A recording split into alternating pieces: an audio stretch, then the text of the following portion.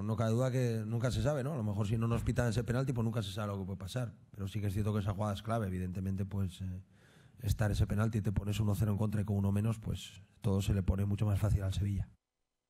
¿Qué tal? Muy buenas noches. Han escuchado a Abelardo Fernández después de la derrota del Sporting de Gijón el sábado en el Sánchez Pizjuán ante el Sevilla. Lo cierto es que un penalti muy dudoso, unos dicen que fue, otros dicen que no fue. Abelardo no quiso entrar demasiado en sala de prensa, dice que o decía que le había pillado bastante lejos la jugada. Lo cierto es que pudo condicionar y mucho el resultado porque a partir de ese gol el Sevilla se fue para arriba y el Sporting se fue para abajo. Lo analizaremos a partir de los próximos minutos aquí en el pelotazo en esa Asturias Televisión. Hablaremos también de la victoria del Real Oviedo en un campo dificilísimo como es Andúba 1-2 ante el Mirandés, un Real Oviedo que además conseguía remontar en la segunda parte, no hemos podido escuchar a Sergio Gea porque hoy no podemos disponer de las declaraciones del técnico argentino ayer en sala de prensa después de esa victoria del Real Oviedo que ha alzado a los azules a la tercera posición de la tabla y está a un punto de la zona de ascenso directo del segundo clasificado. Vamos a analizar los dos partidos. No van a ser los dos únicos ingredientes en un nuevo pelotazo que arranca en estos momentos aquí en Asturias Televisión y al que les invitamos que se queden con nosotros. Bienvenidos.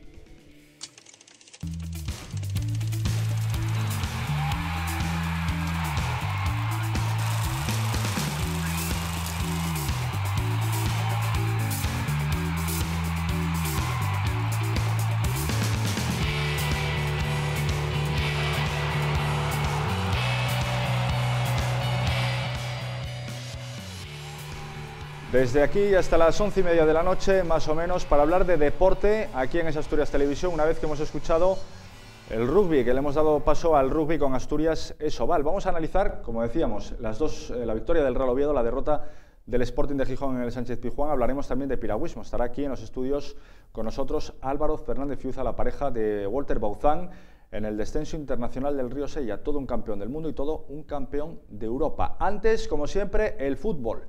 Dalviz Álvarez Kili, muy buenas noches. Buenas noches. Bueno, analizamos la derrota del Sporting, la victoria del Real Oviedo. Hoy dos, eh, una jornada con cosas contrapuestas. Vamos a empezar por el Sporting. Se ha metido en problemas y muy importantes el equipo de Abelardo a un punto solo del descenso. Sí, sí que es cierto. Y la verdad que yo estoy con Abelardo, ¿no? Sí que condiciona el, el, penalti, hay que ser realistas. Se, se encuentran con un penalti que para mí no es condiciona el resultado y condiciona pues, que ahora el Sporting esté pasándolo mal y tiene un calendario por delante complicado, complicado hasta un punto del descenso y, y de meterse en descenso es complicado salir de ahí, ¿eh? más en esta primera división que está muy, muy pareja, pues complicado. Y del Oviedo, pues nada, eh, seguimos igual, seguimos siendo resultadistas, sigo diciendo que se sigue sin jugar bien a fútbol, pero yo ya, eh, para mí perfecto, que sigan sin jugar bien, pero que sigan ganando partidos, y además remontando, yo creo que, que es bueno que, que, hayamos remontado un partido y en un campo tan difícil como Andúba.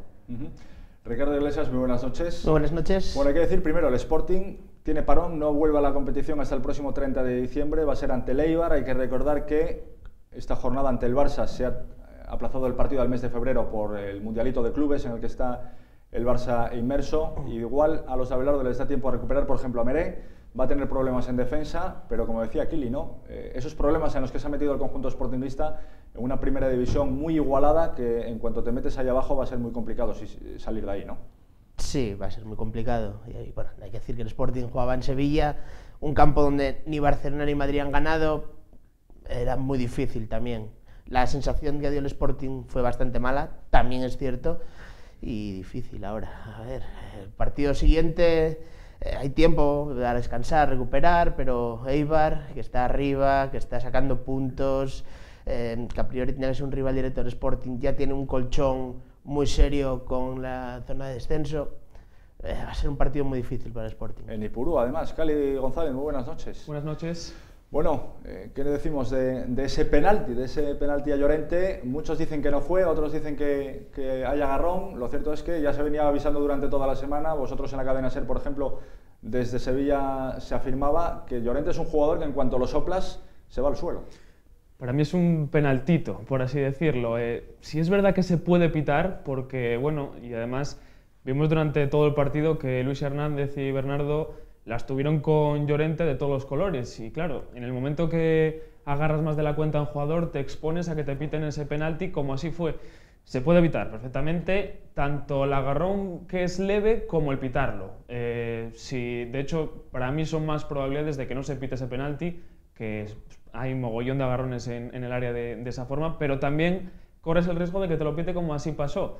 Y de los agarrones que hubo, que hubo varios, como digo, para mí fue el más leve, además de todos. Y sí condicionó, por supuesto, el, el partido y el resultado del Sporting, que estaba aguantando mucho, pero claro, cuando aguantas tanto, te encierras tanto atrás, en una de estas puede pasar lo que pasó. Sí, pudo ser de penalti o no, pero lo cierto es que ya estaba pasando agobios el conjunto rojo y blanco.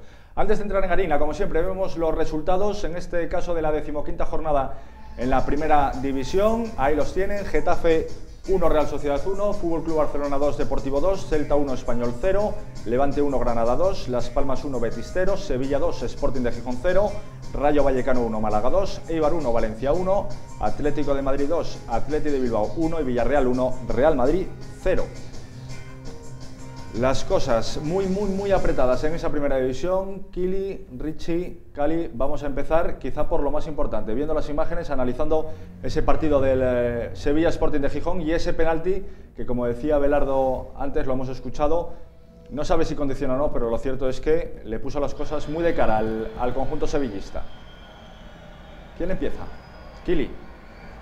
Bien, yo, eh, yo creo que las últimas jornadas del Sporting eh, ha pasado de competir muy bien a meter el, equipo muy atrás y, renunciar, no atacar, pero ha cambiado mucho el equipo en, dos, tres jornadas. No compite de tú a tú a los equipos, cosa que sí lo hizo contra el Madrid, eh, contra equipos de arriba. Sí, ha empezado a bajar un poquito. Y ha empezado a bajar. Igual es que se le está acabando un poquitín la gasolina a los jugadores de Abelardo.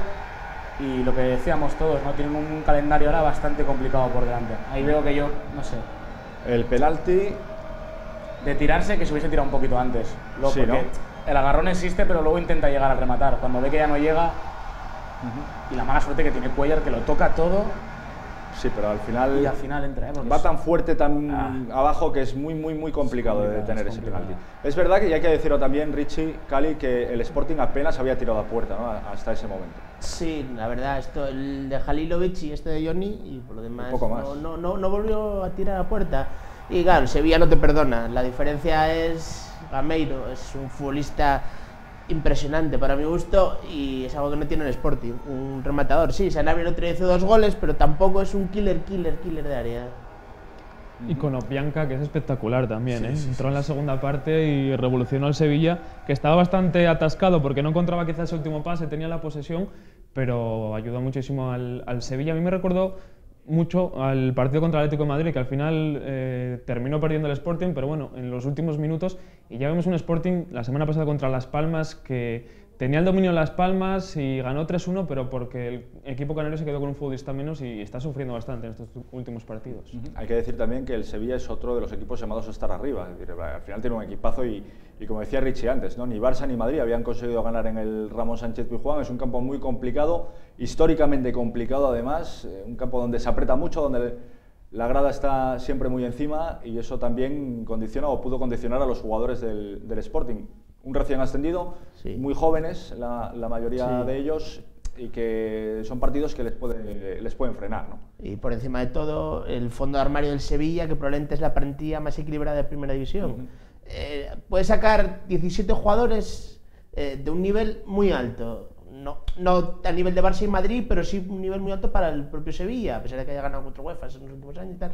Tiene la mejor plantilla desde que yo tengo memoria futbolística. ¿Tienes uso de razón? No, ¿no? Un poco más. un poco más. adelante. Si yo tengo memoria futbolística, eh, el Sevilla Que tienes mucha, ¿eh? Ojo. Sí. aquí donde lo ven Ricardo Iglesias Brun, tiene mucha memoria futbolística. Muchísima. Y, y eso, con Opleanka, o sea, un internacional ucraniano que va a jugar la Eurocopa saliendo desde el banquillo, Reyes, eh, un futbolista descomunal, que sí, que vale, que ya no es el Reyes de sus mejores días, pero para designar un partido contra un equipo como el Sporting, suficiente. Como me gusta traerte el programa, caramba. Vamos a ir a la sala de prensa, vamos a escuchar primero al Pito Abelardo. Esto es lo que decía después de esa derrota de los suyos ante el Sevilla en el Ramón Sánchez Pizjuán. Nos ha faltado arriba, nos ha faltado arriba. Arriba no hemos, no hemos creado peligro al Sevilla, no, no hemos asustado al Sevilla en ataque. Sí que es cierto que hemos estado muy ordenados, el equipo... La salida de Cronopianca evidentemente les ha dado un plus a ellos Hemos intentado corregir esa situación con la salida de Lora ahí un poco por delante de Luis, pasar a Allen ahí en la media punta. y a los, a los dos minutos pues eh, tengo que cambiar a Mere y bueno, y cambia un poco la situación otra vez, ¿no? Pero bueno, eh, sí, eh, no cabe duda que nunca se sabe, ¿no? A lo mejor si no nos pitan ese penalti, pues nunca se sabe lo que puede pasar. Pero sí que es cierto que esa jugada es clave, evidentemente, pues estar ese penalti y te pones 1-0 en contra y con uno menos, pues todo se le pone mucho más fácil al Sevilla. Las palabras del Pitu Velardo, hablaba de Mere, es verdad que se le retiró por precaución con un golpe en la cabeza, va a llegar al, próximo partido. Hay que decir también que el, Sporting ha recurrido a la segunda la tarjeta que veía Bernardo. Veremos a ver el comité de competición al final que decide si va a poder estar ante Leibar o no. Lo cierto es que se le suman los problemas porque no va a estar Luis Fernández, no va a estar Bernardo, los dos centrales del conjunto rojiblanco y veremos a ver cuáles son las opciones que maneja Velardo y cuál, y cuál es la decisión al final que toma, pero lo cierto es que el próximo 30 en Ipurúa lo va a tener también complicado si, si, no va a disponer de esos dos centrales. ¿no? Sobre todo en ese estadio que, vamos, eh, necesitas centrales fuertes que vayan bien por arriba y Bernardo y Luis Hernández, bueno, es que son el centro de la defensa y el centro del equipo, porque se sostiene el equipo a través de ellos en cuanto a la defensa, son indiscutibles. Bueno, Jorge Mere tuvo ese golpe en la cabeza, que está bien, me imagino que podrá jugar. Y Bernardo yo creo que será difícil que le quiten esa tarjeta amarilla, están pendientes, la recurrieron, pero bueno, yo creo que, que no se la van a quitar. Ojalá que sí, que pueda jugar, por supuesto, por el bien del Sporting.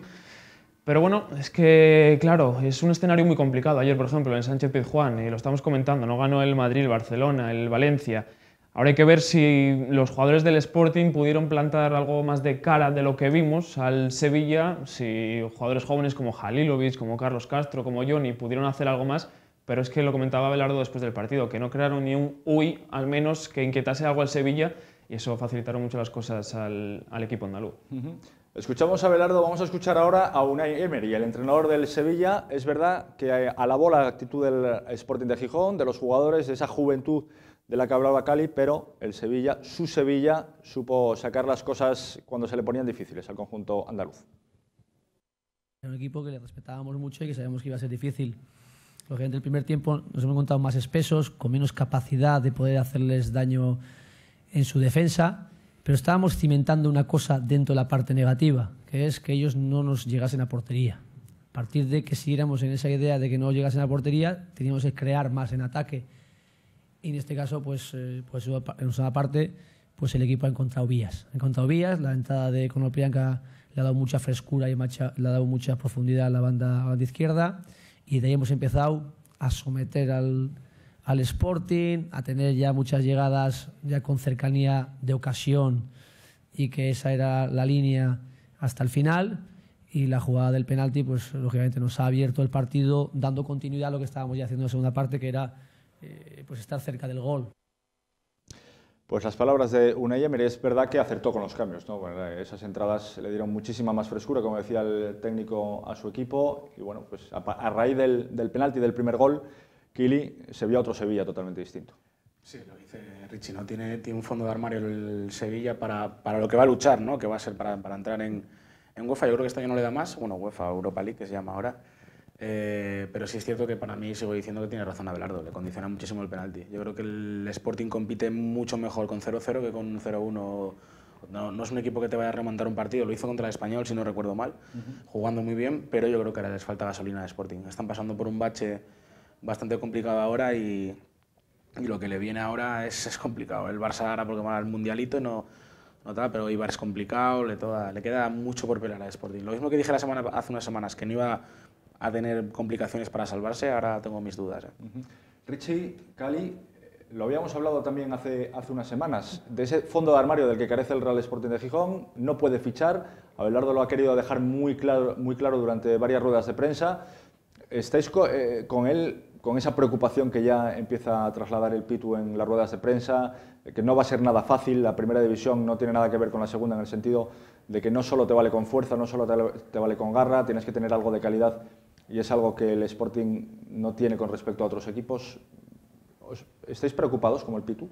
Yo creo que le puede pasar factura. Es que son las limitaciones que hay. El Sporting necesita jugadores eh, de mayor nivel o, mejor dicho, de mayor experiencia. Nivel tiene la plantilla, jugadores con muchísima calidad y con muchísimo potencial, pero claro, muy jóvenes. Y compites contra todo un Sevilla, contra Llorente, contra Bianca, Gameiro, etcétera claro, el Sporting, eh, con las limitaciones que tiene, pues no puede estar ni mucho menos al nivel del Sevilla. Y por ejemplo, ayer sí me gustó, eh, en este caso, bueno, el partido de, este fin de semana, eh, la manera de defender. Defender, pero estrictamente dicho, es decir, los cuatro de atrás y un poco por delante esa línea, que si el Sevilla llegaba hasta esos tres cuartos de, de campo, Sí, pero pero no, no- encontraba no el sab- no último podía pase, pasar de ahí. no encontraba un tiro claro y eso es lo que mantuvo el Sporting en el partido, luego ya con el penalti sí cambió todo. Richie. Sí, sí, estoy ta- totalmente de acuerdo. Bueno, claro, el Sevilla tiene a Llorente, que un un metro noventa y muchos, claro, un balón centrado, si no te llega te puede hacer un penalti, el agarrón, que sí, fue como vino el gol. Y mira, pues eh, aprovechó la ocasión, metió el gol y se llevó el partido. Pero bueno, también soy de los que creo que si no hubiese sido esa acción, probablemente Sevilla hubiera intentado, hubiera, eh, se hubiera volcado mucho más y quizá hubiera llegado el gol. Quizá. Es, es muy condicional, pero yo creo que sí, que hubiera llegado el gol. Es como que el, sí, como por que la el penalti diferencia de ayudó a- apaciguar al Sevilla, ¿no? a, que se las- a que se tomaran las cosas de, de otra manera, pero sí que si no hubiera llegado ese gol, como dices, la tromba hubiera sido mayor. Sí, en los últimos minutos sí, hubiera sobre todo volcado balones eh, frontales a Llorente, peinadas, segundas jugadas y la diferencia de calidad ahí se hubiera notado también. Yo, te recuerdo que contra, contra el Madrid aguantó muchísimo más de lo que aguantó contra Sevilla. Sí, pero... Y el Sporting eh, está acostumbrado a aguantar eh, muchísimas oleadas de contra equipos y yo te digo que contra, Pero con también- 0-0 compite increíble. También es primera jornada, Claro, también pillas que- al Madrid Sí, pero empezando... bueno, pero también, también le ganó hace cuando la última vez que estuvo en primera le ganó al Madrid en el Bernabéu y aguantó un chorreo increíble. en el- Muchísima más calidad que ya en otra plantilla Bueno, del Sporting, sí, otras sí, sí. circunstancias. Pero que con 0-0 Tal. compiten muy bien el Sí, Sporting. eso sí, Cuando, eso met- sí. cuando les meten uno, no sé si es que porque quieren llegar al ataque y tal, al final abres espacios.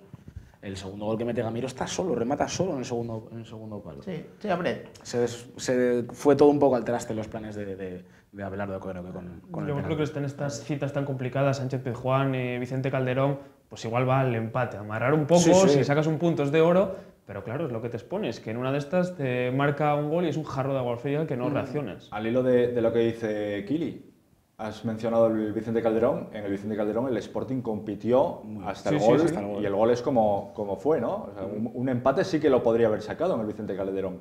Y ahora igual, si no llega esta jugada de penalti, quién sabe si hubiesen aguantado de la misma forma ese 0-0, pero lo que digo antes, que se ven con el gol en contra y que no llegan, pues claro, en ese momento dices, es que no, no tengo el problema es que no, más reacción ya. Quitando Sanabria, eh, arriba no tienen. Nada.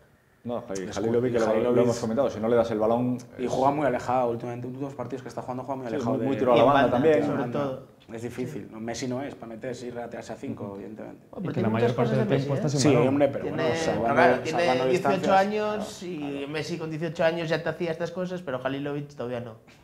La, una diferencia. Efectivamente. También. Nos vamos a ir a, a las redes sociales porque hemos querido plantear dos encuestas después de- del partido a los seguidores en Twitter. Primero, ¿condicionó el árbitro el Sevilla Sporting del sábado?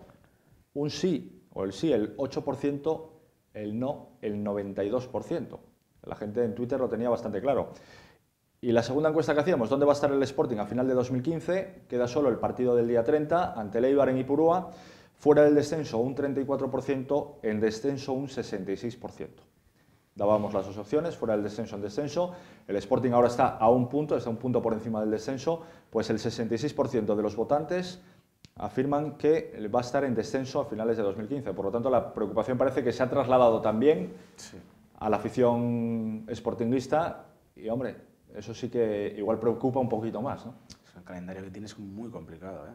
Y salva esta semana que se va el Barça fuera, pero luego Eibar, no recuerdo, Valencia puede ser, o no, Valencia no. O sea, bueno, viene otra vez todo. todo- Madrid, Madrid, sí, sí. viene otra vez todo. O sea, es un calendario fastidiado. Y encima luego te viene el Levante en casa, que va último, que es un partido que tienes que ganar en tu casa y te mete tres.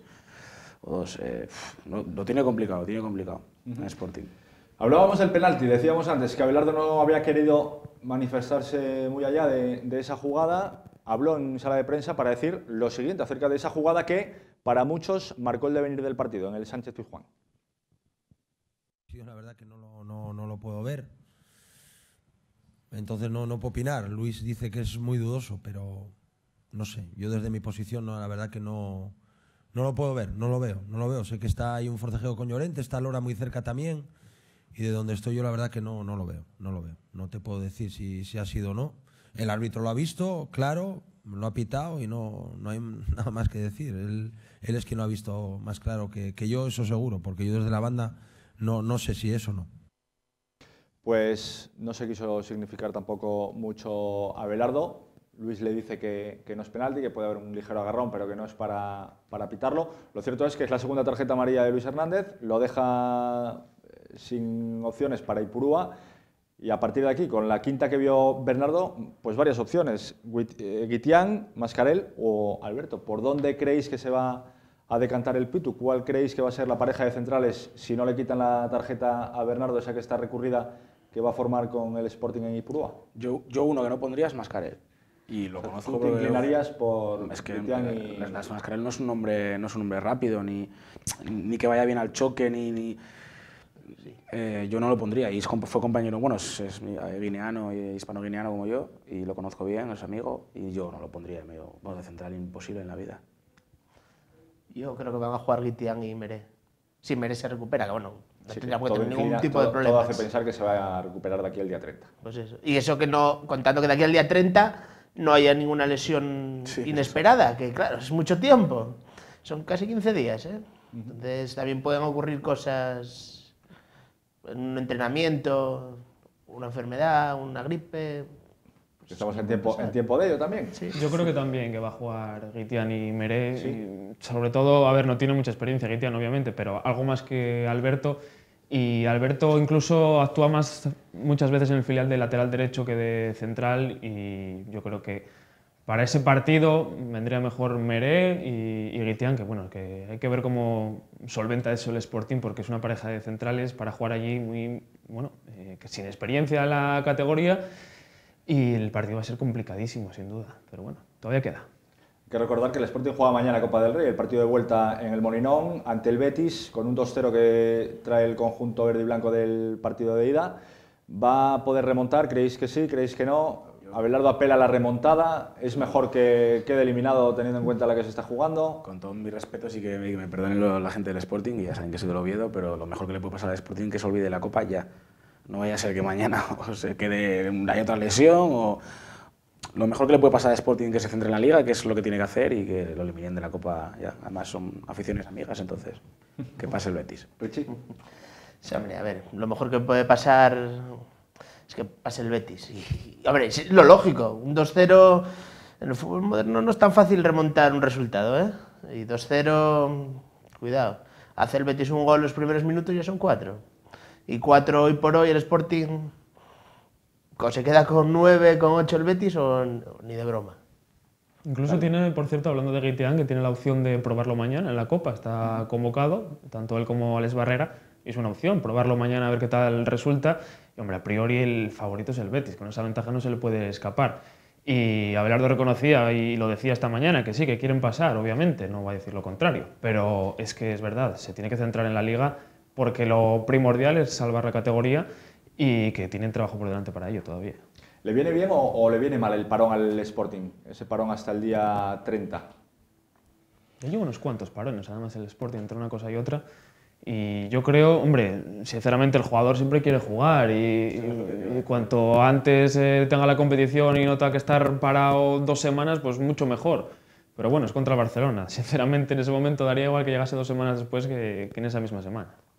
Yo como jugador, y bueno, tú también, lo sabes, cuando pierdes un partido y no lo has, no has hecho bien, lo que quieres es jugar cuanto antes mejor para quitarte esa espina, ¿no? Y Pero por el claro, ritmo competitivo Por el ritmo, de claro, es lo que dice Cali. Claro, porque, por ejemplo, aunque haya partido de Copa mañana, lo cierto es que no, gran parte de ellos no van a estar en, el- en la Copa porque les va a dar descanso. Entonces, o va a probar, va a hacer probaturas, va a mirar otro tipo de perfil de, de jugador. Y hay jugadores que van a estar parados, pues si hoy estamos al día 14, 16 días hasta el próximo partido en, en Ipurúa. Yo soy de los que digo, dice que no, parar no, pero bueno, eh, toca parar, ¿no? Y además eh, venía el Barça, así que a lo mejor hasta viene, te viene hasta bien. Pero yo, yo por mí, eh, un partido siguiente domingo, intentar ganar y, y ya cambiar el chip ya. Pero mira a la larga, ¿eh? que luego les va Sí, a tocar sí, jugar sí. No, no, sí, eh, sí. sábado, Sí, miércoles, acuerdo. sábado, y es la segunda entonces parte de la película. va a ser, eh, ya lo decía hoy Abelardo en rueda de prensa, como que no les va a gustar mucho tener que recibir a Barcelona entre, entre semana, va a ser difícil. Y sobre todo, a ver en qué semana lo, lo meten, porque si te toca ir a jugar con un rival como el Valencia, por ejemplo, pues bueno, Mestalla es un campo difícil. Bueno, pues medio tirado, pero si te toca ir a jugar con un rival directo, es otra guerra. Es otra guerra. Hay que recordar que el partido está puesto para febrero, pero sin el día marcado todavía. Sí, va a ser en febrero, pero no hay, no hay fecha fijada para el calendario. Cali, ¿coincides con Richie, con, con Kili? ¿Es mejor para el jugador? Eh, lo, lo decías antes, ¿no? Sí, yo creo que es sí. mejor? Yo creo que sí, porque es que lo que necesita el jugador es precisamente disputar partidos. Tiene mañana la Copa del Rey y Abelardo comentaba hoy que es mejor tener la Copa del Rey que un entrenamiento. Pues mira, de, de esa forma ve el partido de mañana, para seguir compitiendo, para seguir acumulando minutos, que los jugadores sigan metidos en la competición. Y ahora yo creo que se va a ver, o se tiene que ver al verdadero Sporting. Es que eh, en segunda división eh, consiguió el ascenso, siempre estuvo arriba y ahora en primera, de momento no estuvo en descenso. Buena noticia, mérito enorme, pero ahora que llegan los partidos complicados, que llega una mala racha, que igual tiene la opción de meterse ahí abajo, ahora es cuando tiene que sacar de verdad ese, ese orgullo y ese fútbol que en realidad lo tienen, pero yo creo que ahora mismo, por lo que vimos en los últimos partidos, ya no tanto contra el Sevilla, que sí es un rival muy grande, de, de gran entidad, pero sí contra Las Palmas, que vimos un Sporting inferior.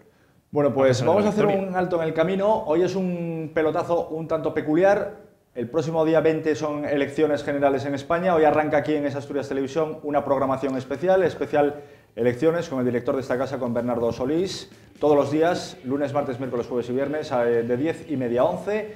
Especial elecciones. Hacemos un alto en el camino, vemos el especial de hoy con Adriana Lastra, la candidata del Partido Socialista, cabeza de lista aquí en Asturias. Y en cuanto termine, regresamos aquí con más cosas para hablar ya del Real Oviedo, de esa victoria del Real Oviedo en Andúba, aquí en el pelotazo. Hasta ahora.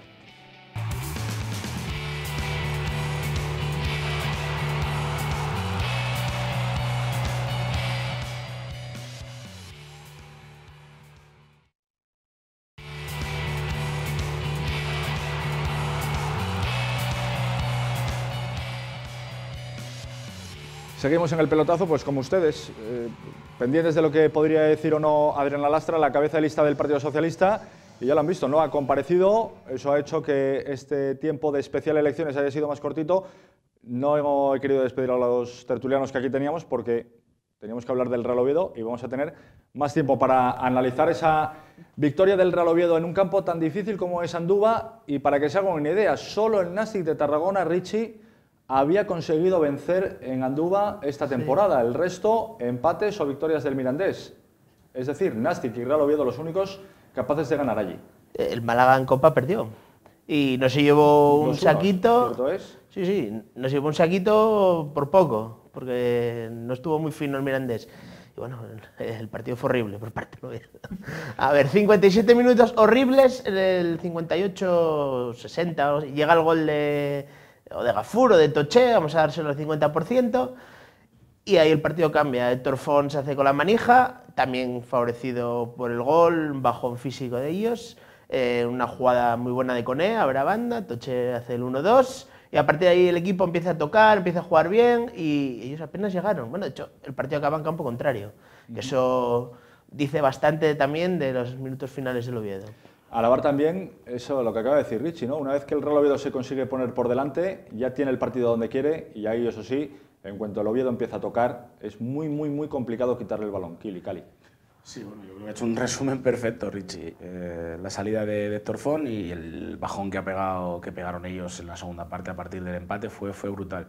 Y lo que dice él también, ¿no? que acabamos en el campo de ellos, acabamos con una ocasión de, de Susaeta y una ocasión de Aguirre que casi es gol. Y a mí me gusta, no, no jugamos, pues, tiene razón Richie, de que no jugamos a nada, pero mira, sin jugar a nada están los terceros, Como que no quiere la cosa. Sí, sí. Eh, hay que ser resultadista. Y yo, ahora que soy con título de entrenador, a día de, de hoy, cuando sea entrenador más adelante, yo creo que mi equipo no juega nada, pero ganar todos los partidos. Que luego que me critiquen en la, la afición, eh, lo que quieran, pero al final lo que mandan son los resultados. Y no te van a echar. No. Cali. Completamente de acuerdo, si es que yo también eh, me quedo con el resultado. El Oviedo jugó muy mal, sobre todo esa hora. Luego es verdad que lo hizo bien y la otra vez que estuve aquí lo comenté. Eh, le costaba al Oviedo, se ponía por delante, igual no sabía jugar tan bien eh, ese tipo de minutos.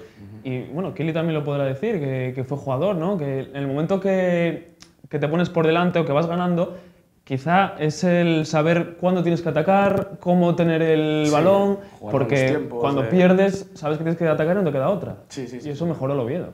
Sí, sí, sí, verdad, no, no, eso es, eso es cierto. Eh, cuando ganas, vas ganando tienes que jugar con los tiempos del juego eh, y con artimañas, de perder un poco de tiempo, de tal. Cuando vas perdiendo, pues no te queda otra que, que atacar y ir a por todas y tal. Y a mí me lo Oviedo me gustó en el sentido de que remontó un partido en un campo súper complicado, como Sanduba, con un equipo muy bien trabajado. Y, y creo que, bueno, eh, de ganar a Almería el próximo domingo nos iríamos pues, muy contentos, ¿no? La afición del Oviedo con, con lo que ha hecho el equipo hasta ahora. No te me adelantes. Vamos a ver esas imágenes de la victoria del Real Oviedo en Andúba por 1 a 2. Los dos goles de Toché en la segunda parte. Un Real Oviedo que, como decíamos, supo remontar el partido y que ha supuesto que se metan terceros en la clasificación a solo un puntito del puesto de ascenso directo. Antes, el gol solo en el segundo palo. Es fallo de la defensa, del marcaje. Hay que marcar al hombre y no en zona. Lo primero que está Marpel filado a la hora de defender, porque pierde el balón de vista y va flojito ahí. Ahí con que, con que esté eh, con el forcejeando, que no remate fácil, ya no, ya no mete el gol. Para mí es fallo de Peña. Minuto 64, gol de Toché, como decía Richie, al 50% entre Toché y el defensa. Y cuatro minutos después, Y este es un buen gol. ¿eh? zapatazo del delantero murciano del Real Oviedo y el 1-2. El Real Oviedo que se colocaba tercero en la clasificación. Golazo. ¿Sabes lo que me quedo de todo esto? La celebración con todos. La piña que hay, ¿no? Eh, Se podrá hablar de que hay gente que no se lleva bien en el vestuario, no sé si es verdad o mentira.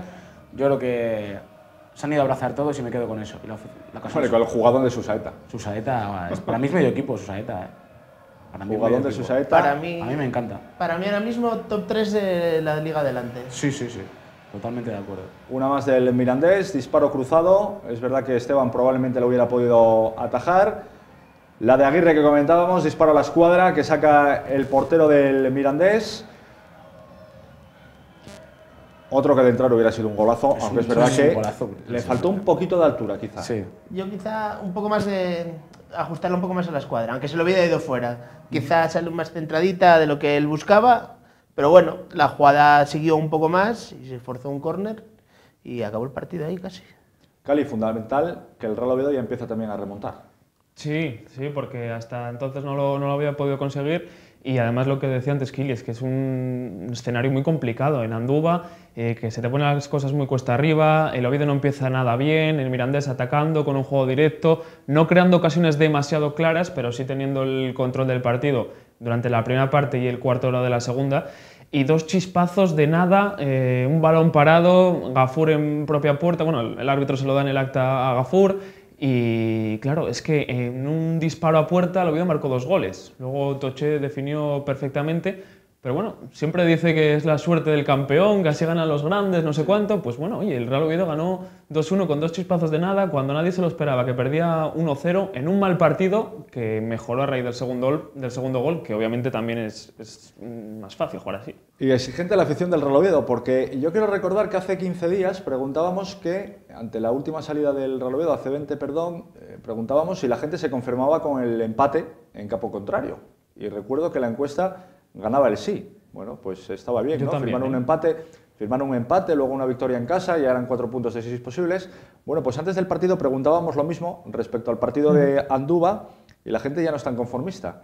Un 35% que decía que sí, que se conformaba con el empate, frente a un 65% que no, que ya quiere ir a por los tres puntos donde sea, da igual que sea en casa o fuera. Lo cierto es que si el Real Oviedo consigue vencer el próximo domingo en casa al Almería, los deberes de primer- del primer tramo de temporada para, para irnos al parón navideño van a estar más que hechos. Serían 31 puntos. ¿Quién no hubiera firmado 31 puntos a 20 de diciembre? Te digo yo que el 99,9% del oviedismo lo hubiera hecho. Siempre hay alguno que te dice que tienes que sacar todos los puntos, tienes que ganar todos los partidos, tienes que jugar perfecto, tienes que ganar 7-0, pero eso es ir- irreal. La, la próxima Real. encuesta. Ya, a nosotros que ya nos gusta el deporte en Asturias, ya nos gusta hacer encuestas, pues va a ser la, la próxima encuesta. Si hubiéramos firmado o no esos, ocho- esos eh, puntos, esos 31 puntos al parón navideño. Quizás de la, de la encuesta que esta que hiciste, de la primera que has hecho del Oviedo, eh, la gente quizás ve como Mirandés un nombre muy de, de un equipo muy pequeño y no sabe que, que, que son muy buen equipo y que está muy bien trabajado y que es muy complicado ganar allí. Hay que recordar que nos eliminaron de la Copa. Sí, sí, Se sí, sí. eliminaron al Real Oviedo de la Copa. Rey. Quizás, quizás a lo mejor por ahí la gente va de los Sí, pero bueno, de, de, que- aquella manera, pero, nos, pero nos eliminaron al Sí, Real Oviedo. pero- nos eliminaron. Oh, 9 contra 11 y el Oviedo tuvo 4 o 5 ocasiones clarísimas y, de y gol. remontó, y remontó un 0-2. Y remontó un 0-2 con 9, que eso, cuidado. Con la entrada Ahí de queda, Cone, ¿eh? hay que decirlo, Sí. ¿eh? que hasta Sí, entonces sí, el. Oviedo no estaba haciendo Hasta entonces un no buen había partido. haciendo nada, pero luego lo que fue desde la entrada de Cone hasta el final de la prórroga, bueno, de hecho, prácticamente también el partido aquel, con 9, acabamos jugando en campo contrario. Y, y sí, vale, nos tiraban contras y estaban solo Aguirre defendiendo y estuvo Norma aquel día Aguirre. Pero bueno, es un partido, bueno, pues un partido típico de Copa. Y el año sería inmejorable. Después de terminar en Segunda B como campeón, después de ascender, eh, que termines todavía en ascenso directo, tienes la posibilidad de hacerlo.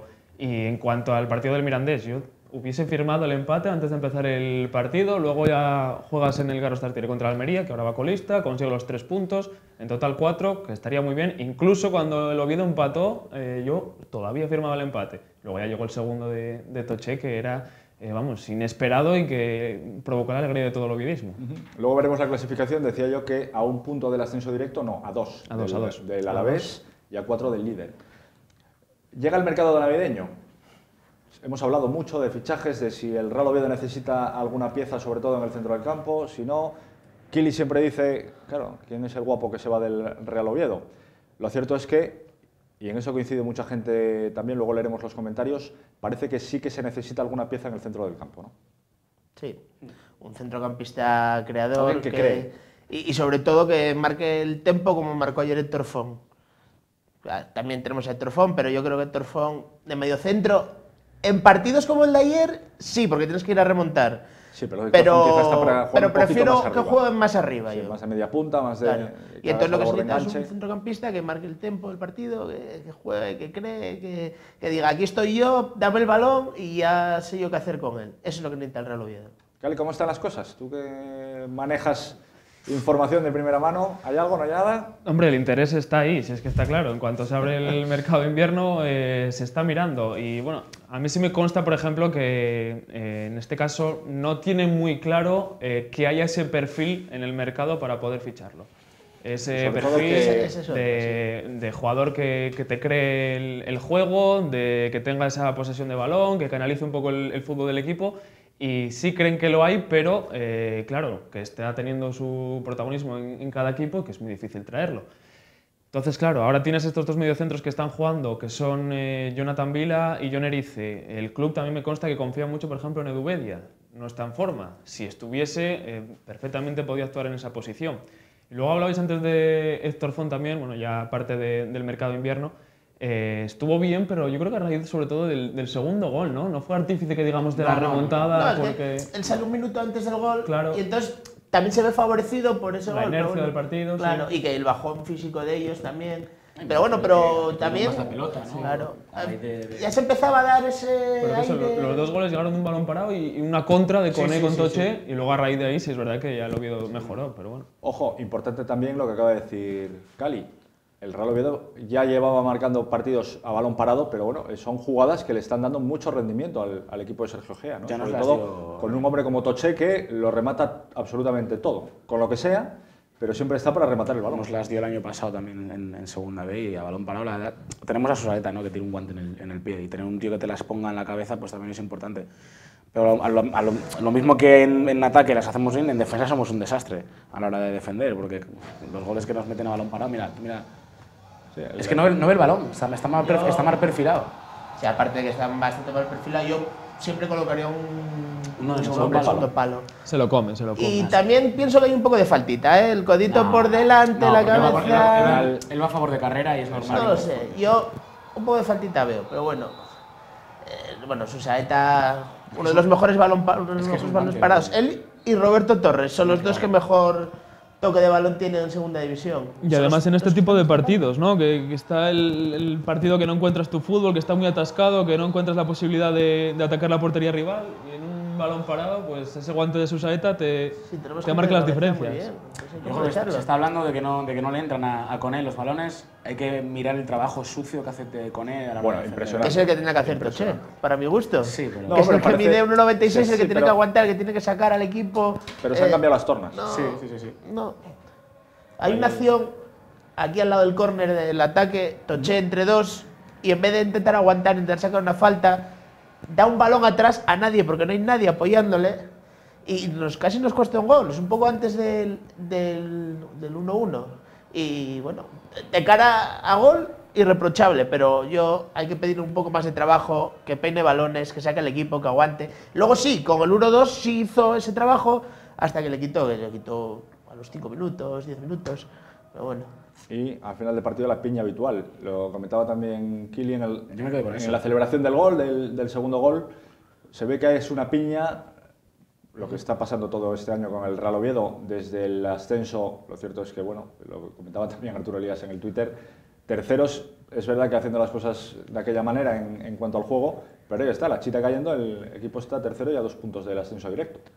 Está claro, es que quien no lo hubiese firmado la situación ahora de- del equipo, eh, más allá del juego que fue mejor o peor en otros partidos, salvo el día de Vitoria, que ahí no hay discusión contra el Alavés de que el Oviedo mereció perder, quizá en otros que sí perdió, igual podía haber sacado un empate, pero ese día no, no hay discusión, pero es que el Oviedo está compitiendo en todos los partidos, viene de Segunda División B, mantiene el bloque del año pasado, que eso es muy importante, además que, que esos jugadores compiten de verdad en esta categoría, y luego la ves antes de, de Coné y Toché. Coné, por ejemplo, no está, porque no está cómodo en la situación que tiene que hacer ese trabajo sucio, que quizá Linares sí lo pudo hacer mejor, que bueno, fue una baja notable, al igual que la de Borja Valle. Le gusta más jugar en punta, pero aún así lo hace y lo está haciendo muy bien, a pesar de todo.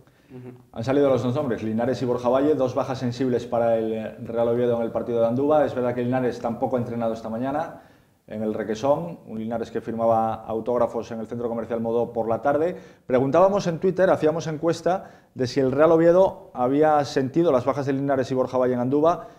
Para un 83% de los votantes la opción era el sí.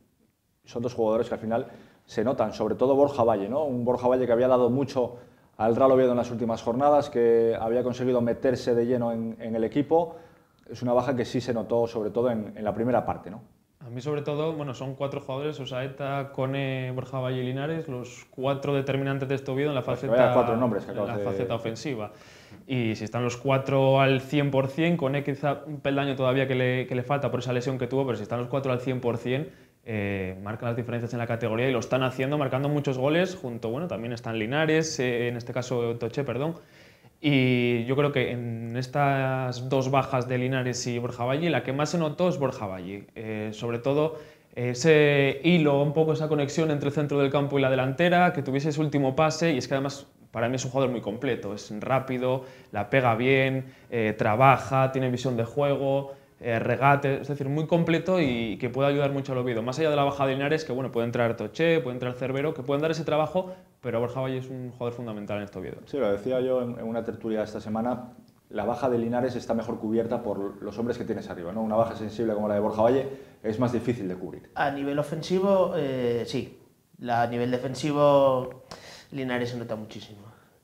Y ayer, por ejemplo, la baja de Borja Valle, ofensivamente se notó porque Aguirre solo metió un par de centros ahí un poco tal, pero defensivamente ayer Aguirre estuvo espectacular, hizo un partido enorme, corrió, defendió, bajó. Es- lo puso por eso, porque defiende más que Hervías, porque Hervías de mano tendría que ser el que debe Sí, tener el caché para jugar natural, sí. Pero ayer, ya te digo, Aguirre jugó muy lejos de portería, sobre todo defendiendo y muy bien. Ahí no tengo queja de él. Más que decir de la enciclopedia esta. Ya lo dijimos antes. En cuanto a memoria futbolística y enciclopedia del saber de fútbol, pues Ricardo Iglesias Brum es, eh, ¿qué voy a decir yo de, de Richie? Pocas No, cosas. Pero bueno, sí es cierto que, que Borja Valle nos está dando. Yo no pensé que nos iba a dar tanto en segunda división. ¿eh? Yo era- recelaba en ese aspecto sobre Borja Valle y, y me, me ha tapado la boca. Igual, igual que me la ha tapado Toché, que para mí tiene que jugar Cervera antes que Toché, pero me está tapando la boca. ¿Al- ¿Alguno, ¿Alguno más te la va a tapar o...? No, no, no, el resto no. Bueno, yo tengo mis preferencias ¿no? futbolísticas. Cerbero porque es amigo y porque creo que se merece jugar más. Y Toche creo que puede a la hora de defender y, y que nos tendría que dar cosas que no nos está dando. Mantener el balón de espaldas, bajar balones, peinar balones. No nos lo está haciendo. Entonces, no creo que tenga que hacerlo con él. Con él lo hemos fichado para que nos dé ese plus de mejorar en el equipo a nivel ofensivo en cuanto a los goles. Para Pero bueno, que a mí con tal de que me... peinadas. Sí, a mí, bueno, que meta los goles Toche y que ve que pele con él. A mí me da igual. Mientras gane el Oviedo me da igual, pero que sí que se han cambiado las tornas. En principio los roles eran diferentes. Claro. Debe- ¿Debería contar Sergio Gea más con Diego Cervero? Aquí creo que no vamos a tener duda, yo creo que sí. Aunque sea para dar descanso, bueno, como mínimo. O sea, Cervero aporta un montón de cosas, eh, sobre todo, aunque sea salir en el minuto 10 de la segunda parte perdiendo 1-0 eh, en el Tartiere, porque te levanta el campo, te levanta el equipo, siempre Como la está última jo- peleando. Como la, la última jornada, como hace la semana Claro. pasada. Pero no en el 41 de la segunda parte, porque eso es, eh, vamos, matador para cualquier futbolista. Yo la verdad que tenía mis dudas de que jugase como delantero en, en Miranda. Eh, por semana, de hecho, Egea hacía los, la hacía los ejercicios con Cone y con Cervero. En el otro equipo estaba Toche, bueno, finalmente se, se decantó por el murciano, pero yo creo que sí podría tener más minutos, sobre todo como esa faceta de tercer delantero, porque ya es directamente el cuarto y para eso, para los minutos finales. eh, si hay dos delanteros, pues bueno, ese tercero, en este caso, si ponemos como titulares a Linares y Cone, pues ese tercero se puede alternar un poco entre Toche y Cervero, que no sea tan claro para, para Toche, pero bueno, es que claro, Toche está respondiendo, lleva cin- seis goles. El domingo llega el colista, llega la Almería el Carlos Tartiere. Buen partido para que jugara Cervero. Último partido del año en el Tartiere. Yo creo que no va a jugar, podría ser un partido, pero yo, creo, que no va a jugar. no va a jugar. Y ojo, que la Almería viene colista, pero no, no es mal equipo tampoco. ¿eh? No, tenemos una plantilla, pero bueno. Pero podría ayudar la Yo creo que no, de la yo- Almería para que jugara Diego Cervero. Creo que no lo va a poner. Creo, no lo va a poner. No vas a quitar a Toche, que está en racha. Cone ahora mismo es in- indiscutible. Linares, imagino que antes del jueves ya estará entrenando, si todo va bien. Tengo miedo que ni lo convoque. Richie. Pues podría ser un buen partido para él. Quizá no de titular, pero sí para salir en el minuto 10 de la segunda parte, al descanso, eh, dar minutos. Ta- ta- También hay que ver un poco cómo va el partido y en la función de lo que quiera Egea. Y es un partido de trampa. un partido de trampa, eh, la plantilla de la Almería tendría que estar muchísimo más arriba, tendría que estar casi donde el Córdoba, diría yo, o luchando los puestos y tal, y sin embargo está último. Es algo que no, no tiene una explicación fácil. y que luego todo futbolista que viene al Tartiere quiere demostrar cosas. Y los jugadores de la Almería van a venir aquí a demostrar que, que, que, bueno, sin ir más lejos, que pueden estar jugando en el Oviedo, que pueden estar jugando más arriba, que las cosas no son como, como la clasificación refleja. Y cualquier futbolista de cualquier equipo al Tartiere viene a intentar lucirse o a intentar eh, hacerlo bien. Y que ya, ya vemos cómo está la categoría, ¿no? Que cualquiera puede hacer un traje a cualquiera. Sí, y sí. sin ir más lejos, mira el filial de Bilbao la que le a Osasuna esta Y semana. el Tenerife, que lo dábamos por muerto aquí, creo que en el primer programa que vinimos, Alfredo nos invitó, eh, lo dábamos por, por muerto y ha ganado ya unos cuantos partidos. Pero bueno, Cinco de sí, seis. pero ya decíamos, ya decíamos aquella que no era normal lo del No, Tenerife. no era normal, no era normal. Pero bueno, contra el Oviedo fue un desastre. Yo ese equipo dije, ese equipo está descendido en diciembre. O sea, y es a veces lo que digo yo, que una plantilla puede echar a un entrenador si no quieren jugar a fútbol. ¿eh? Efectivamente. La pregunta de, de Cervero tenía trampa, evidentemente, porque es que imagínense la papeleta para Sergio Egea cada semana de decidir entre los cuatro nombres que tiene arriba. Y sobre todo lo que decía, lo que decía Kili. ¿Cómo vas a quitar a Toche que está en racha? A Linares que te hace el trabajo que te hace, a Coné que te da lo que te da. Cervero tiene también sus habilidades y tiene también su forma de jugar y también da mucho. Al final son cuatro hombres que uno, desgraciadamente, se tiene que quedar fuera. Dos van a jugar, uno va a estar en el banquillo y por desgracia pues se queda el canterano, ¿no? Que merece más minutos es que yo lo tengo Sí, clarísimo. no lo Eso discute nadie. no tengo ninguna discusión. Y de hecho lo veo entrenar todos los días y es que es el que más se deja la piel en cada entrenamiento y hasta los tres minutos que juega en el partido. Y Sergio Gea lo sabe, pero es que al final Sí, pero la decisión, claro, es que no, no es fácil. Cuando tienes sobre todo la talla de delanteros, eh, hay que recordar que bueno, Cervero es un buen delantero, pero bueno, viene de segunda B, de tercera, y claro, enfrente tienes a Coné, tienes a Toche, a Linares. Eh, por ejemplo, entre Toche, eh, Linares y Suseta creo que llevan 18 de los 26 goles del Oviedo. Entonces, bueno, es que tiene una competencia como no tuvo nunca en el Oviedo, y es normal que tenga pocos minutos, pero para mí es verdad que si alguno más merecía tener, yo creo que de jugar, jugaría más fuera de casa que en casa, Cervero. Porque yo creo que De Gea intenta jugar otro estilo de juego diferente en casa, con más posesión de balón, que no la tiene, pero lo intenta. Y fuera de casa yo creo que va a tener más minutos que en casa, Cervero, si los tiene. lo que sí está claro es que Cervero, también lo decíamos esta semana, va a ser fundamental esta temporada. Yo sigo diciendo que Cervero ha nacido para hacer historia en el Real Oviedo, ya lo hizo metiendo al Real Oviedo en la eliminatoria ante el Cádiz, Yo estoy convencido de que no sé si va a ser el gol que nos meta en el, que meta el Real Oviedo en el playoff o que le dé el ascenso, pero Cervero está llamado a hacer historia en el Real Oviedo y este año va a ser otro año, seguro. Ya marcó además la temporada pasada el gol, no solo el del ascenso, sino el de Compostela, que hizo campeón a- También al al equipo. Ra- efectivamente, al Real Oviedo campeón de la segunda B. Y el último gol de segunda B contra el. Nastic, es verdad. No hubo mejor cierre a esta época oscura que, que lo cerrara Cervero. con Gol golazo, por cierto. Sí, sí, fue un buen gol. Un golazo. Para cerrar la tertulia, vamos a ver la clasificación de la Liga Adelante después de estas primeras 17 jornadas. Como decimos, queda un partido para el final, de, un partido para el final del año. Ahí está, Córdoba, Alavés, Real Oviedo, Zaragoza, Osasuna y Leganés están en los primeros puestos en ascenso directo. Córdoba y Alavés, el Real Oviedo tercero, a dos puntos del Alavés, del segundo, del ascenso directo. Por abajo, ahí los tienen, Mallorca, Llagostera, Bilbao, Athletic y Almería. El Almería, próximo rival del Real Oviedo, domingo a las 7 y cuarto de la tarde en el Carlos Tartiere. Para cerrar y en un minutito, entrada para el partido. Se va a notar lo que se está jugando el Real Oviedo, que es el último partido del año. ¿Va a haber una buena entrada en el Carlos Tartiere? Sí, yo creo que sí. Más ahora con el tema de las fiestas y tal, y que los jóvenes del Oviedo están yendo por los colegios a hacer eh, visitas a los niños y tal, y están regalando entradas. Yo creo que va a haber una, una buena entrada en el Tartiere. Último partido del año también. Sí, yo creo que sí. Richie. Sí, y además, único puede hay un poco la selección, es un poco restar gente, pero yo creo que muy poco. de la tarde sí te hay. puede sobrar para haber ido a votar ya, ¿eh?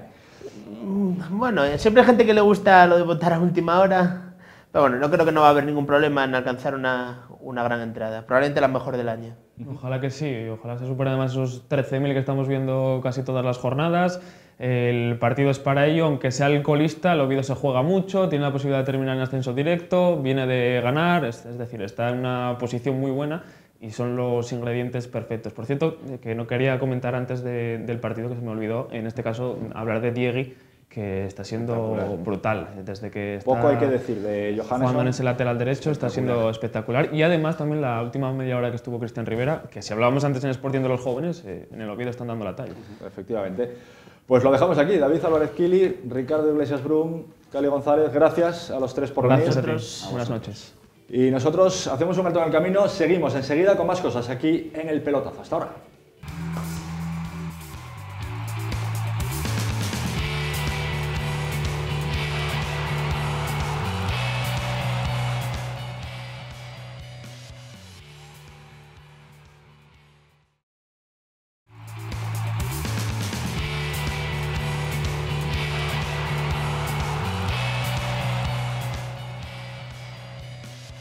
Seguimos aquí en el pelotazo en esa Asturias Televisión, seguimos hablando de deporte y en este caso nos vamos a ir al agua, más concretamente a la piragua. Está con nosotros Álvaro Fernández Fiuza. Muy buenas noches, Álvaro. Hola, muy buenas noches. Bueno, todo un campeón del mundo de maratón, campeón europeo, campeón del Sella junto a Walter Bauzán, que se ha metido también en una nueva aventura de la que luego vamos a hablar con él, pero lo cierto es que sigue sin parar, Álvaro. Sí, sigo sin parar. Suelo parar poco. Ah, un poco a veces ya la familia me dice que pare un poco más, pero bueno, no, no se puede parar uno. Aunque alguien te está reclamando de vez en cuando, ¿no? Que Sí, de vez en cuando, hora sí. de, de ir parando. Estamos todo el día con acuerdos y tratados de, de paradas y eso para un poco pues para conciliar esa vida familiar que también, que también exige su tiempo. Porque se puede decir, ¿no? Para quien no te conozca, casado con dos hijos. Sí, casado y con dos hijos. Entonces, al final, oye, tam- también la, la familia hay que atenderla y, y sobre todo un deportista, ¿no? Pues hay que buscar ratos, ¿no? Para poder estar. Sí, deportes sobre todo como el piragüismo, son deportes de muchas horas de entrenamiento, viajes, pues eso, mucho tiempo fuera de casa y, y al final pues la, la familia es el que te espera y bueno, hay que ser, hay que ser, pues eso, hay que estar también atento con ellos y pasar mucho rato porque además también, también ya cuando tienes niños también ya te lo, te- se lo pide uno mismo, también sacar huecos donde sea para poder disfrutar de los pequeños que, que pasa volando. Bueno, para quien no conozca Álvaro, vamos a recapitular un poquito los títulos que ha conseguido desde 2009 hasta la fecha de hoy. Campeón del mundo en 2009, 2010 y 2011 de maratón, ca- subcampeón 2012, 2013 y 2014 y medalla de bronce en 2015. Antes bromeaba diciendo que ahora llega el trienio de los bronces, porque lo cierto es que vas de tres en tres. Sí, hombre, sí, la verdad que, que voy de tres en tres, pero ya cada vez me queda menos, posiblemente a lo mejor, no sé, yo creo que uno o dos años y me gustaría cerrarlo, pues si, si Dios quiere, con un oro. Ahora, si lo cierro con medallas, bienvenidas sean, porque bueno, al final la medalla es medalla. Eso en el Campeonato del Mundo, porque en el Campeonato Europeo, oro en 2009, platas en 2011 y 2014 y bronce en 2015 en Boeing, en Eslovenia, el último europeo disputado. Sí, hombre, el europeo lo preparamos ya bastante distinto. Es una regata que, que dejamos un poquillo de lado por el motivo de que, de que nosotros la planificación la basamos casi toda en, en el Sella y el Mundial. Entonces no tenemos tiempo a preparar pruebas pues antes de agosto o incluso julio nos cuesta mucho preparar pruebas en, condiciones de, oro. Entonces es un poco la prueba esa que, no puedes pedir ese oro porque tampoco lo, preparamos como, para lograr el Mundial. Yo creo que sí que nos merecemos un oro de, broche final de, carrera deportiva.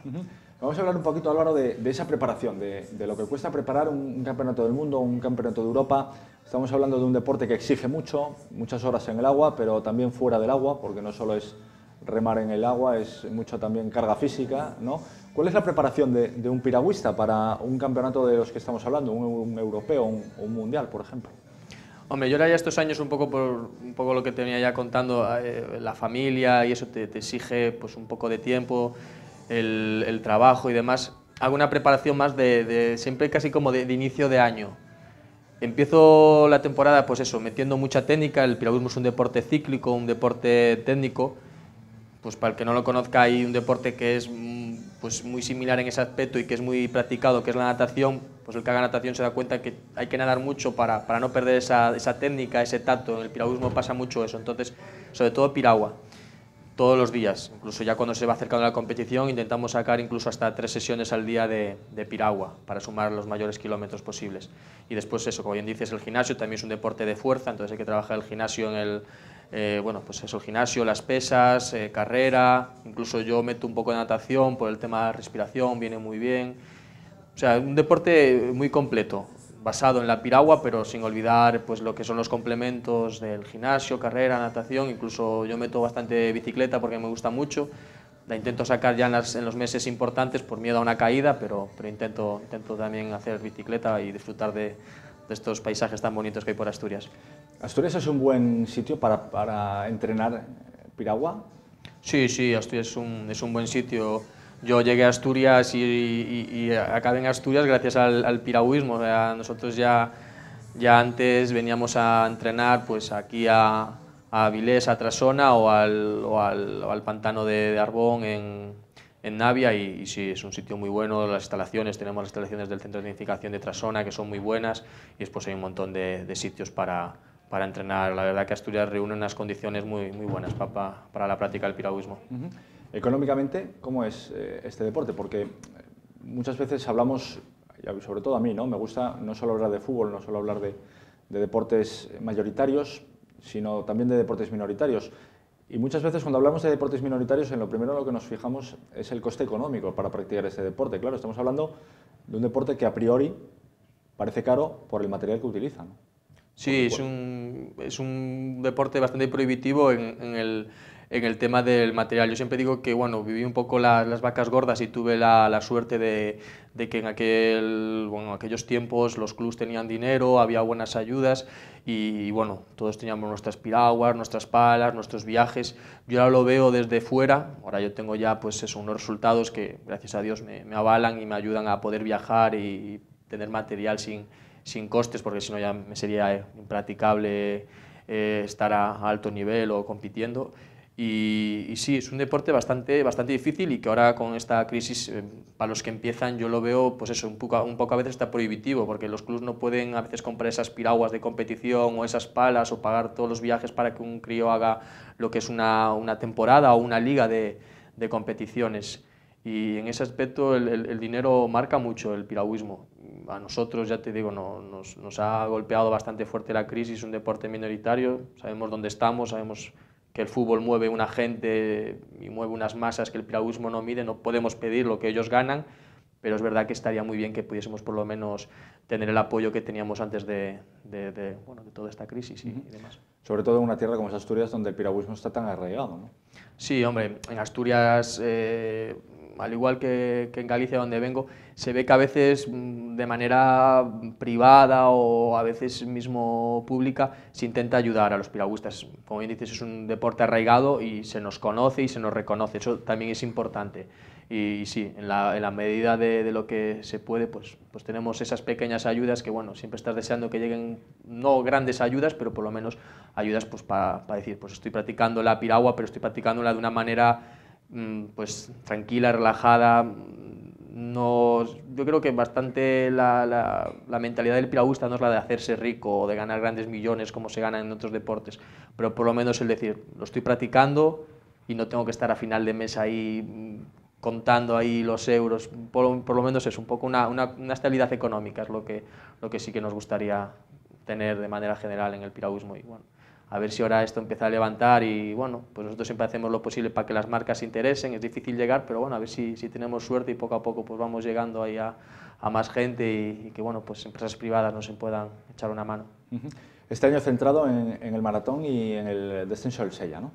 Sí, la verdad que son las citas mm, que más conozco, que mejor sé preparar y, sí, el Sella quizás sea la prueba pues, que, más, que más me divierte y esa pues es la, la, la, prueba fetiche de la temporada y el maratón pues bueno, un poco por, por resultados, por bagaje, pues también, también con, con ganas de, bueno, pues de conseguir ese, ese, oro, a ver si volvemos otra vez al camino del oro. Uh -huh.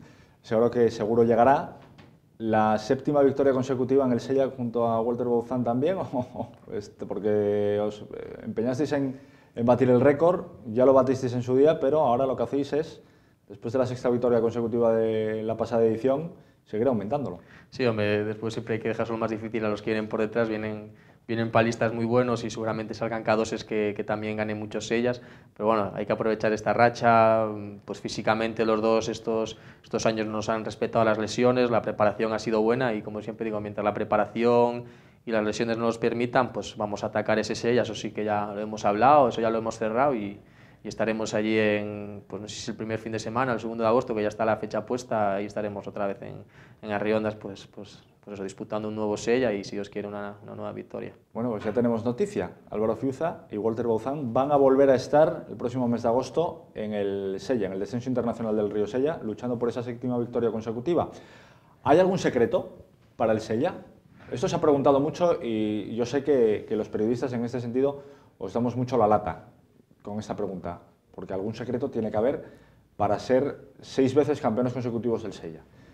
Es conocerlo bien, saber eh, dónde hay que atacar, tener una buena posición de salida. ¿Qué es lo que lleva a uno a, ganar el Sella? ¿Cuál es ese secreto, si es que lo hay? Sí, es un poco el popurrí de todo lo que dijiste, pues hacemos un popurrí y ahí sale, sale el secreto.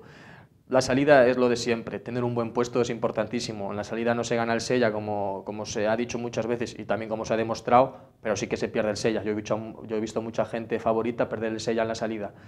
Mm, el conocerlo es vital. Es, mm, poner un ejemplo ya más aquí súper conocido, la Fórmula 1 no es, pasa, no es lo mismo pasar aquí que aquí. O sea, hay una diferencia que a lo mejor es vital para el para el corredor, pues para nosotros en el sella es lo mismo, no es lo mismo pasar por aquí que a casi a 50 centímetros estás dando contra una piedra que, pues eso, que más o menos todos conocemos y que sabemos que tenemos que pasar por ahí, o sea, después ya en los que estamos luchando el sella, el conocimiento es muy, muy parecido, entonces el, el, el coger esas posiciones para ir marcando el río, para ir por el sitio bueno, es importante, y después la preparación, el bajar, cuanto más bajes el sella, del primer día que lo bajes y nosotros vamos tomando tiempos, vas notando que semana a semana esos tiempos van bajando, van bajando, van bajando.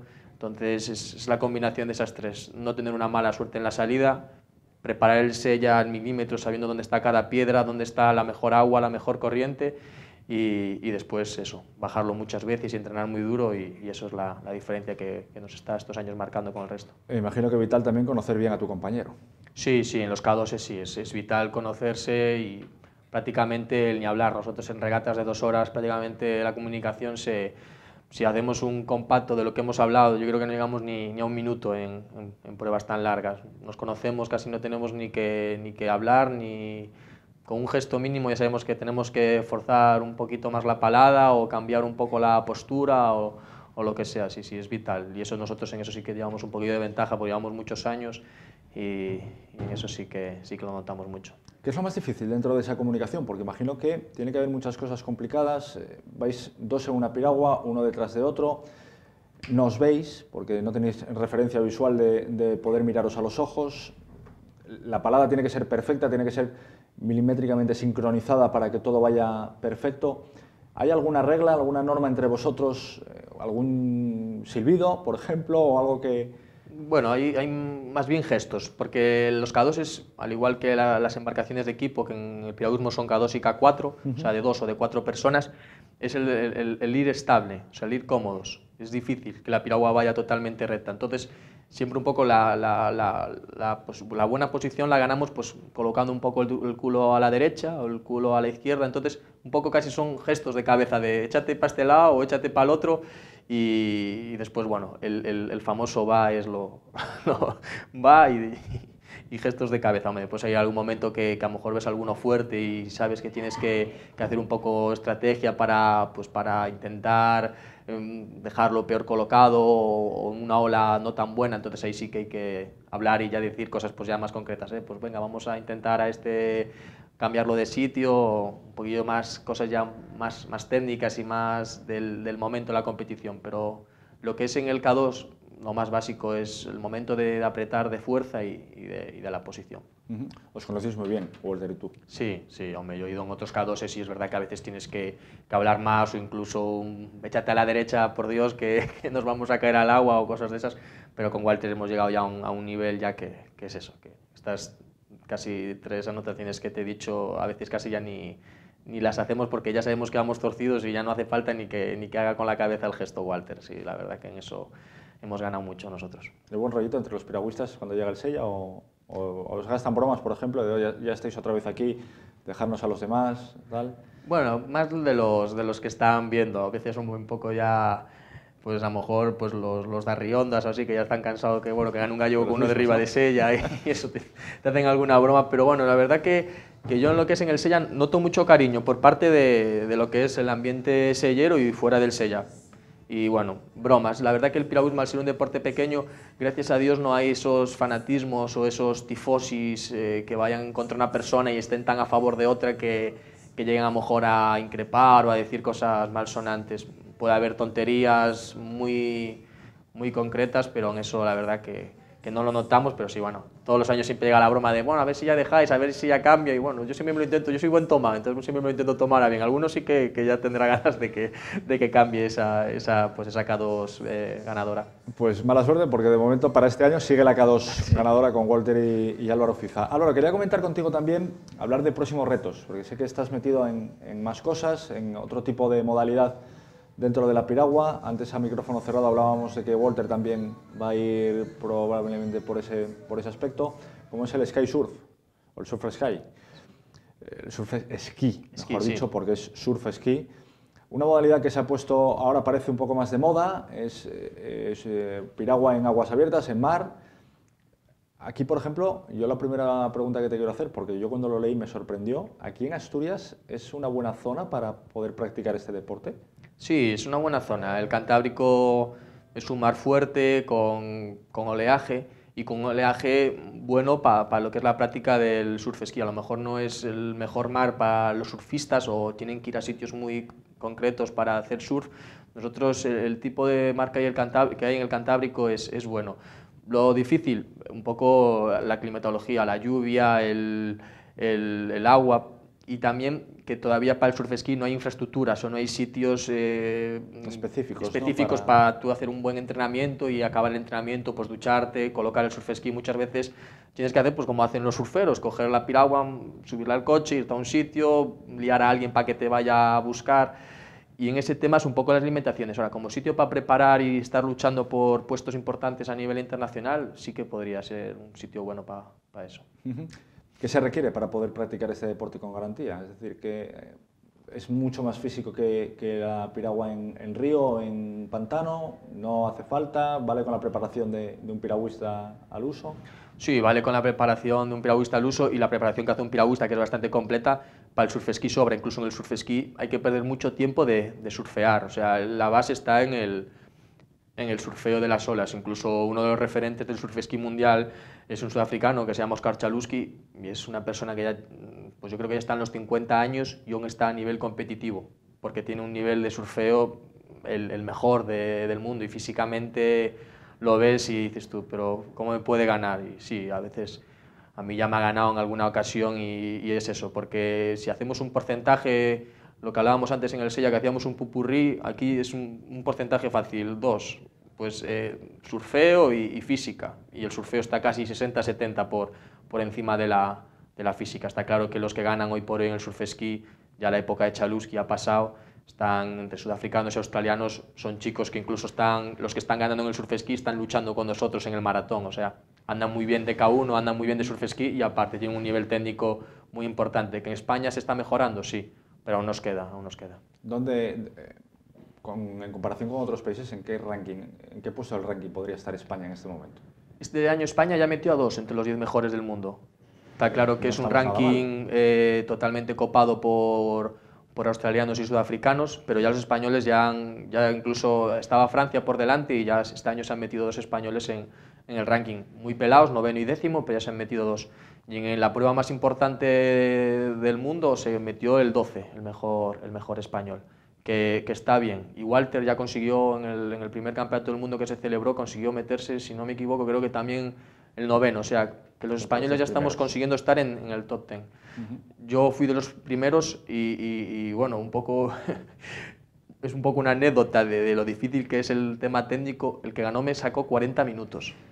Yo ahora ya cuando ya consigues llegar a dos minutos, porque hay otras diferencias distintas a la del piragüismo. ¿Verdad que nosotros en piragüismo, en un maratón o en un sello a veces son diferencias de un segundo o dos segundos? En el surf ski hablar de diferencias de 30 segundos, 40 segundos, un minuto, no es decir, uff, vaya paliza. Son normales, o sea, no son cosas...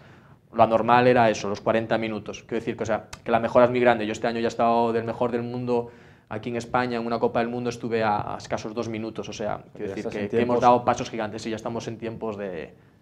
Yo ya he conseguido estar en una Copa del Mundo el cuarto, o sea, ya estamos mejorando, estamos por el buen camino. Es un puesto que tampoco voy a engañar aquí en televisión, es un puesto que faltaban aún algunos de los mejores, pero que ya conseguí ganar a, grandes, a grandes palistas de, la, de, la, modalidad. Por ir terminando, es donde tiene Álvaro Fiza puestas las miradas ya, ¿no? En, ese tipo de competiciones, una vez que, bueno, lo comentamos también en micrófono cerrado, ¿no? Cuando uno consigue más o menos los logros, y ya lo manifestabas tú antes también, que había esperado conseguir o que no lo esperaba, pero ya los tiene, pues mundiales, europeos, el Sella, por ejemplo, con esas seis victorias consecutivas, uno ya piensa en nuevos retos y el surf ski es quizá el, que más te llama ahora mismo. Sí, es el que, el que más me, me, llama un poco. Yo al final soy piragüista, es donde el medio donde mejor me desenvuelvo, donde más eh, entiendo de entrenamientos, donde más conozco a gente, donde mejor me desenvuelvo. Y sí, es una salida, como bien dices eso, ya llevo bastantes años en la alta competición, en la larga distancia he conseguido pues más de lo que soñaba, pues siendo sincero, en el Sella yo pensé que iba a ganar uno y si me iba a acabar ahí la historia en el Sella, iba a ser el típico que iba a estar ahí luchando por la victoria y, es verdad que ahora estoy luchando porque no me bajen de la victoria. Entonces, si el surf si volvemos un poco a lo de antes, hay que conseguir un apoyo pues, a nivel privado, estoy ahí ya buscando ya de cara a la temporada 2016 tengo ganas, estoy bien físicamente quiero seguir, pero me gustaría seguir por ese camino. Pues con ese deseo lo vamos a dejar. Suerte para la temporada que, que arranca, que consigas ese oro que ansías para ir poniendo el broche final a, esa carrera en el maratón, esa séptima victoria consecutiva en el Sella con Walter y suerte también en el surf ski. Pues muchísimas gracias. Gracias a ti por acompañarnos. Nosotros lo dejamos aquí, regresamos dentro de siete días con más deporte. Aquí en Asturias Televisión será una nueva edición del Pelotazo. Hasta entonces, buenos días y buenas noches a todos. Adiós.